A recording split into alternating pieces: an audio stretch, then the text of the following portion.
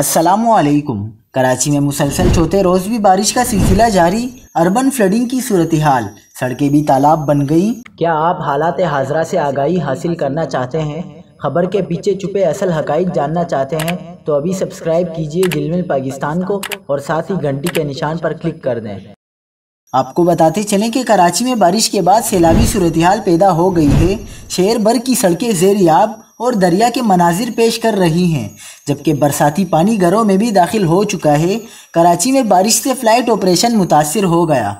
मुतद अंदरूनी मुल्क और बैन अवी परवाज़ें मनसूख। शेर कायद में तेज़ बारिश के बाईस बुध से अब तक मुख्तलिफ़ इलाकों में पेश आने वाले हादसा में सत्रह अफराद जाबाक हो गए।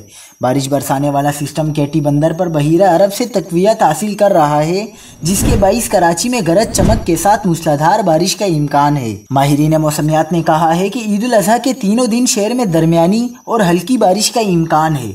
चीफ मेट्रोलॉजिस्ट ने बताया कि मानसून सिस्टम में शिद्दत बरकरार है सरदार सरफराज के मुताबिक शहर में बारिश का सिलसिला आज भी वक्फे वक्फे से शाम या रात तक जारी रह सकता है।